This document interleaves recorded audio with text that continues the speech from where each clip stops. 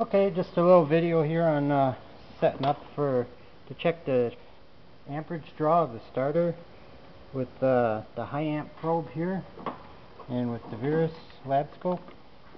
Okay, we got the high amp probe, we got her set all the way over to 400 volts. We got it zeroed out so our line is as close to zero as we can get it. It's actually showing about 10 volt, 10 amps right now. Turn it down just a little bit. Try to get it just a little bit closer. Okay, that's probably about as close as we'll get it. We'll take it, we'll put it around our battery cable going to the starter.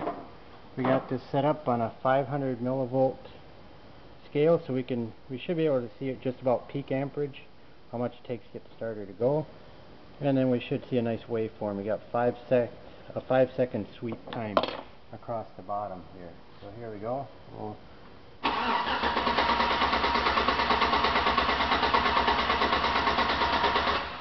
and that's plenty long.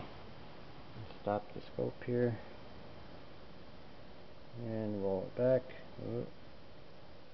Yeah, so we took a little probably close to like 500 600 amps to get the starter rolling.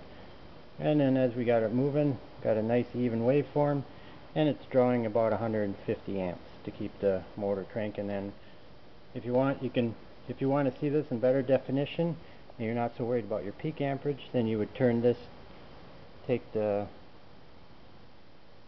hit the trace for channel 1 and change that to probably like a well let's see what do we got here? What can we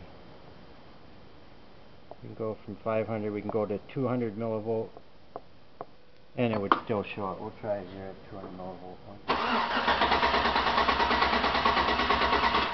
and we can see we got a little better little clearer definition okay the next we'll take this and we'll take our amp probe.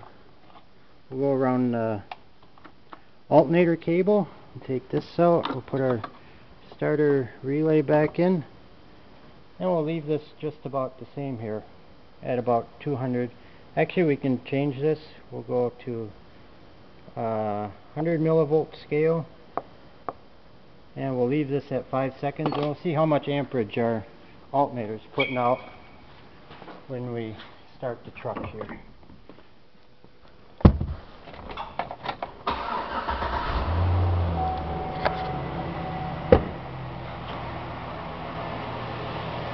Oh, we got it switched around. We'll have to switch this around the other direction.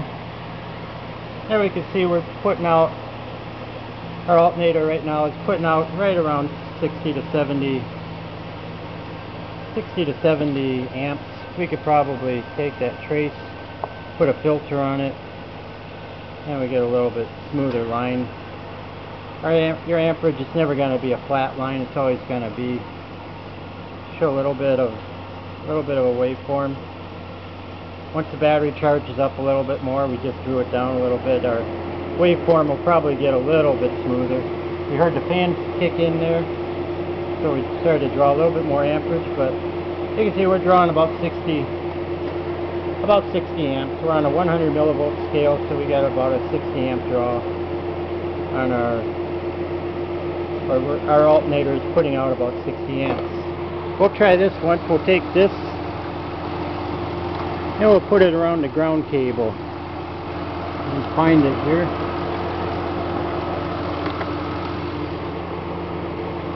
Now, we got two ground cables. This is just the one ground cable. You can see the same thing. Only some of the ground is going through the ground cable to the engine. The rest is going through the ground cable through the chassis.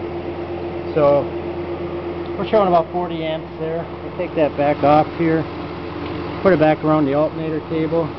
Get her the right way. And you see we're still right around 50.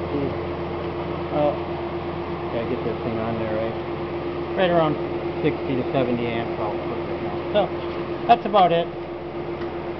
Your millivolt scale here on alternator probably 100 maybe 200 if you got a big truck or if you want to load test your alternator you probably want to go to 200 amp scale but either a 5 or a 2 second sweep time should be good so that's about it